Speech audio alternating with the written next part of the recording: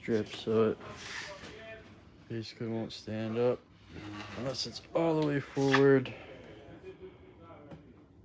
Even that. So you need to replace this